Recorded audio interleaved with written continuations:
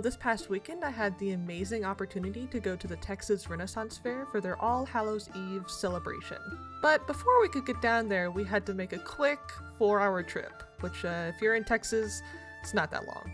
But of course, like any good Texan, we started our road trip with the dear old Whataburger for the most eventful yet uneventful drive of my life.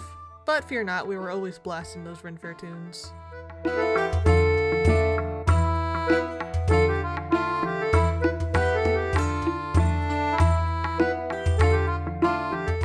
I say eventful because it just started to pour halfway through our drive, which uh, bode well for our stay at the Ren Fair. We also saw some very interesting things on the road. What? what is this? Oh, Kroger and State Fair. Oh, is it going to the state fair? And before we got to our campsite, we of course had to get a very gimmicky bottle of mimosa, which truly did not prepare us for what was about to happen. So we just got to the Ren Fair.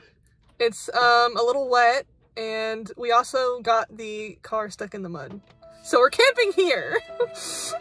so um we're it's it's not storming. It was stormy before, but now it's it's slowed down a lot. So hopefully the tent will go up very quickly. But um yeah. Luckily we got the tent up with no problem, but the uh, car was still stuck.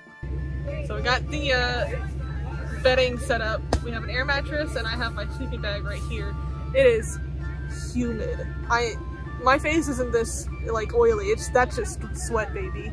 But luckily we have a fan going right here, right right there. But it's gonna be a uh, it's gonna be a hot night.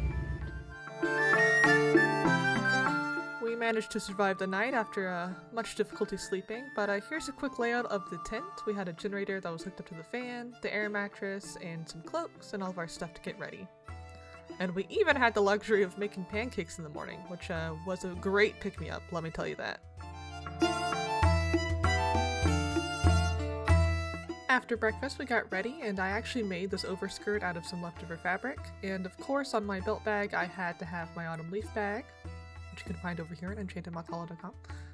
And of course, it's not any Ren Fair outfit if you don't just have a ton of jewelry and stuff hanging off you. And finally, the moth wings. We also went on a small quest this morning to uh, find a way to get our car unstuck, and uh, luckily found a very nice tow truck man. Thank you, Chris. But finally, we had made it into the Ren Fair. And just a reminder, it was hot and humid. It was a very muggy and gross day, but you know, we make the best of it. But you know what's right at the gates and is perfect on a very hot day? Well, some very cold mead, of course. We stopped at the Hive Mead Bar to pick up a new bottle of their strawberry mead. This mead was absolutely delicious, and I will say now that the bottle was almost gone by noon. Mostly by me. From there, we just walked around the fairgrounds and saw different shows, went into different shops, and if you didn't know this, Texas Renaissance Fair is the largest fair in the country. So uh, this fairground is huge, and it took us a while to traverse it all.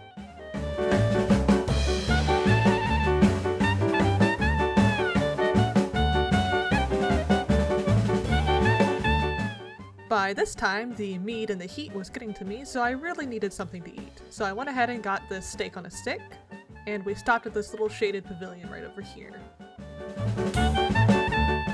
If you have not tried the steak on a stick, it is absolutely fantastic. It's perfectly seasoned and everything, juicy, it's 10 times better than the turkey leg, I will have to say this. Controversial. We also used this time to film some TikTok slash reels slash shorts before heading over to the arena to watch the real steel fighting. To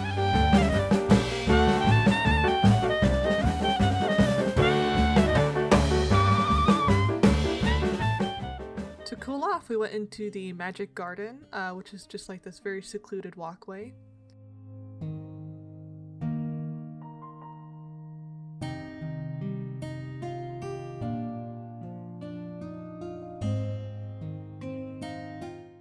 We also went ahead and took some product photography and some just cosplay photos of my outfit and my leaf bag.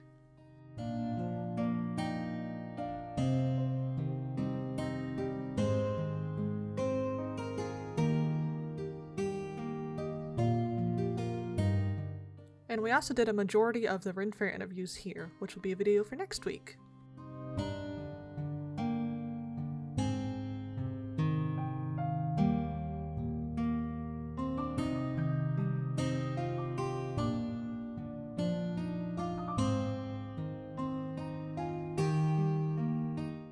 We got so much fun content and B-roll here, honestly, very beautiful.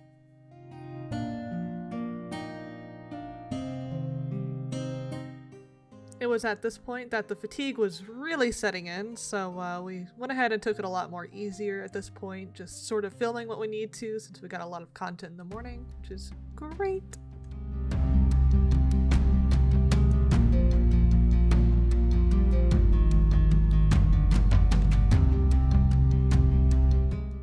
We also got these chimney cakes, which was, um, they were okay. They needed more ice cream for sure. And by 4 p.m., we had seen most of the park, but have been skipping a lot of shows, so we decided to stop and film and, you know, watch a full show.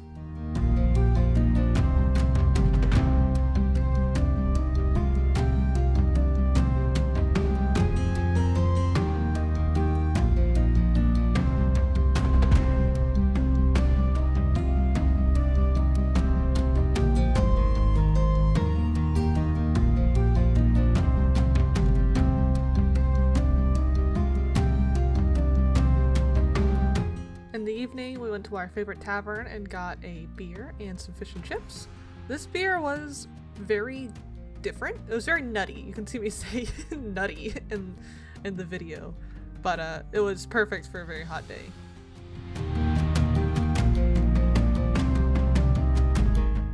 The food was also perfect to end a very, very eventful day. We actually ended up leaving the fair pretty early at around 6:30 p.m. just because we still had a car to get unstuck from the mud and a 4-hour drive ahead of us.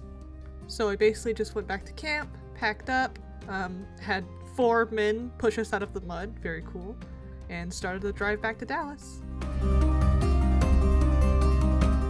Thank you all so much for watching this vlog video, and make sure you tune in next week where you can see me interview these absolutely amazing Ren Fair goers about their outfits and what they like the most about Ren Fair. It was a fun time all around. And of course, don't forget to like, comment, and subscribe for maximum algorithm efficiency. See you all next week! As always, I want to give a special shout out to my patrons. Thank you all so much for supporting me this month, and I have some very exciting updates coming to Patreon in 2024. Make sure you follow my community tab or my social medias to find out more. Bye bye!